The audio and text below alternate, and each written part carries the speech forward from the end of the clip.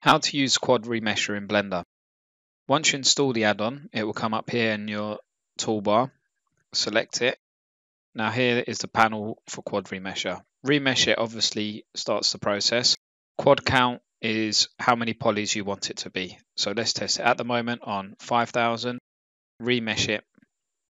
If we come up to here, go to statistics, there is 4,729 faces. Let's undo that. Change this to 1,000. Remesh it.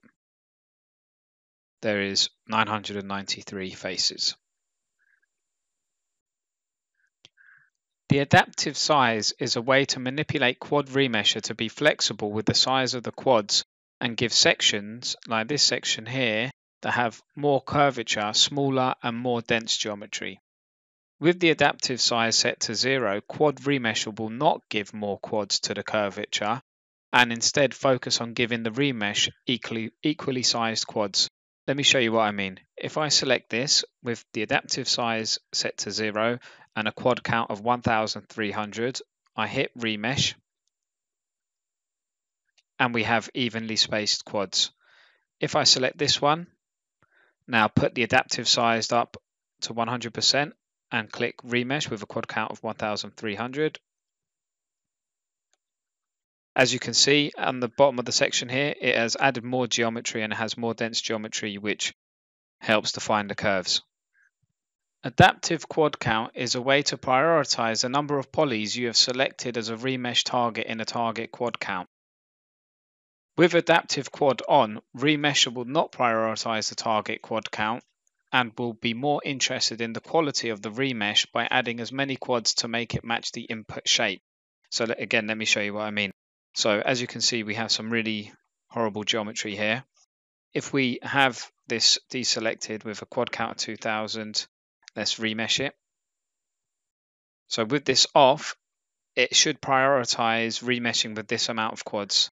So now if we go into our faces, we have 2050. So quad remesher never really gets it perfect, but it gets it as close as can be. So 2050. So if we come out of this, undo.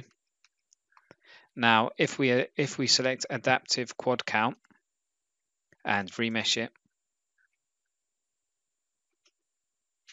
now we have 2,374 faces. So basically, it just adds as many more quads it thinks is necessary to, to fit the basic shape, or the base shape, should I say. The next setting we'll look at is Use Vertex Color. This is used for using vertex paint information to determine where you want more dense geometry. Red means you want your quads four times smaller and cyan means you want it four times bigger. The default value, by the way, is 1. So this is a sculpt I've done. Um, I've now decimated the geometry. So as you can see, the ge geo is all over the place and we want to remesh this. So to use vertex color, we select this.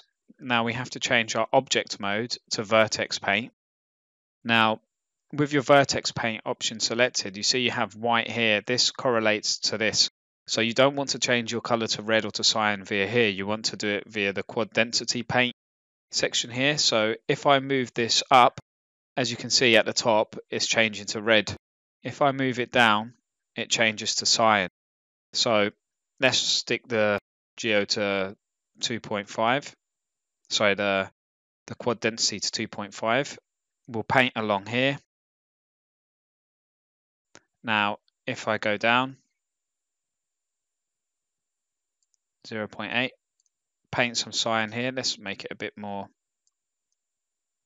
so you can see it a bit better. In fact, let's go back up to red. Put it up to 2. Bring that down. Paint the lips. Okay, so if we look at this, this red area is going to be more dense than the blue. This will be one, this will be whatever we set blue as, and this will be red. To get this to work, you want to select the adaptive size and push it up to 100 and then remesh with a quad count of 10,000.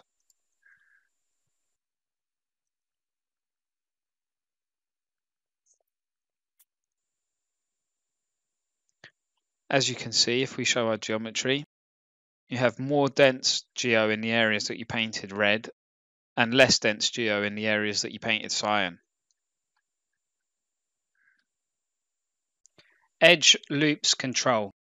This section gives you more control over your edge loops. If you select detect hard edges by angle, it will automatically detect your hard edges that have an angle greater than 30 degrees. If we remesh this with a quad count of 10,000, as you can see, the edges are not really that defined. We undo. Now we select Detect Hard Edges by Angle and Remesh. It has automatically detected the hard, sharp edges and remeshed accordingly. However, as you can see on this section, the results are not as good as we would like it. So if we use what we learned earlier and make use of the adaptive size slider, we can pump up the geo in this section to smooth out the curve. And as such, it will give us much nicer results. So if we undo this,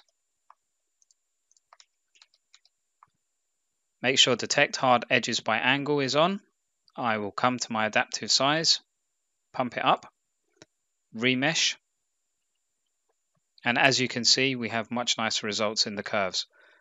If I hide my geo, now what I can do is come to my modifiers, add a bevel, select the um, limit method to angle.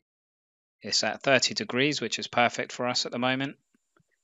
Come down to clamp over overlap, turn it off. Now we can modify this now I will stack a subdivision surface on the top and that will give us control over our edge loops. We want really nice results.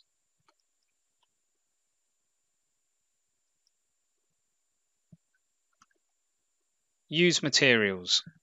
Use materials is especially useful for getting that extra control over where the edge loop will be. So basically, you can use materials to determine where you want your edge loops to be. So let's use this is this an example. We, we select this, I will select my adaptive size, put it to 100, detect hard edges by angle. I will remesh with a quad count of 5000. Now as you can see, this isn't what we want. So we want to be able to tell Quad Remesher that we want this to be a sharp edge. So how we can do that is if I push this over, now on this example, we select use materials.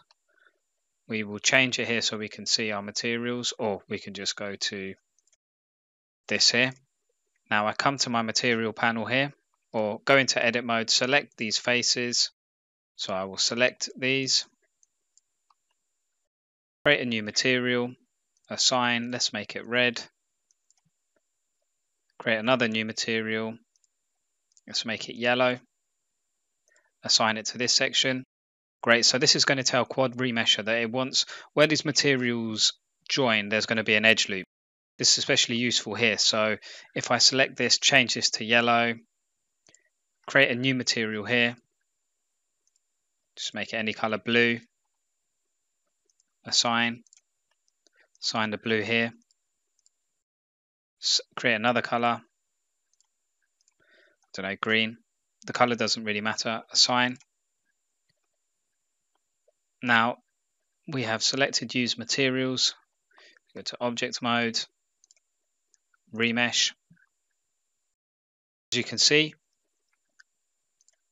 it has kept these sharp edges. So really useful for telling Quad Remesher where you want individual edge loops to be.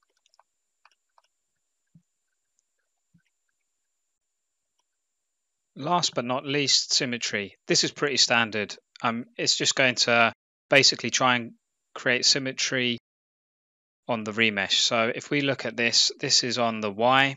So let's undo that.